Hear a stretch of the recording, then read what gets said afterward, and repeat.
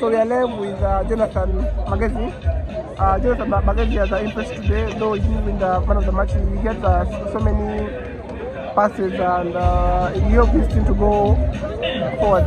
Jonathan, you got your first you, you got your, you played your first game this season against uh, Heathen in uh, game week six and you played uh, ba- barely two minutes. And then you made your way into the team slowly. Now you are a starter in the last uh, three games. How, how, how, how, how does how that feel the journey? It's a, it's a, it's a tight one, obviously. Each game, you take each game at a time.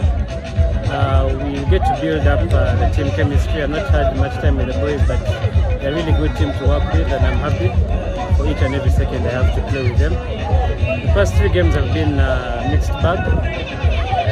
Lost against Kobs, then Heathens as well. So this is my first win this season with the team, and I'm really glad for what we have achieved so far. Yeah, we saw that uh, in the game against uh, Kob, we didn't really have a very good game, you know, but then uh, we saw that the team had made uh, so many changes. How have you managed to, to, to pick yourself up and im- impress the last two games? We saw against the Heathen, you had a very, very good game, and uh, despite the team not getting uh, a victory, but today we managed to get uh, a victory. How are you feeling? Well, uh, like I said, each game at a time. I really can't blame the changes that were made against Kobs. We are still one team, we are still in this. But uh, from the Kobs game, we got to pick up, work on those small errors that we had, and that has brought us here today. I'm really glad to play with the boys. The chemistry is building, like I said, and uh, hope to pick up even more from now on. What uh, your what are you looking forward to personally, not, not as a team?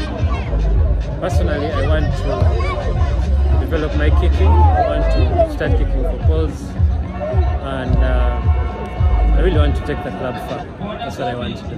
Thank you very much, uh, Jonathan, and wish you all the best going forward.